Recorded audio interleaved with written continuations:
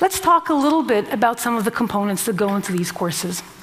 Perhaps one of the biggest components of this effort is that we need to have students practice with the material and really in order to really understand it. There's been a range of studies that demonstrate the importance of this. This one that appeared in Science last year, for example, demonstrates that even simple retrieval practice, where students are just supposed to repeat what they already learned, gives considerably improved results on various achievement tests down the line than many other educational interventions. We've tried to build in retrieval practice into the platform as well as other forms of practice in many ways. For example, even our videos are not just videos. Every few minutes, the video pauses and the students get asked a question.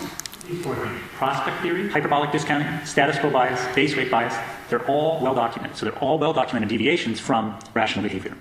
So here the video pauses and the student types in the answer into the box and submits.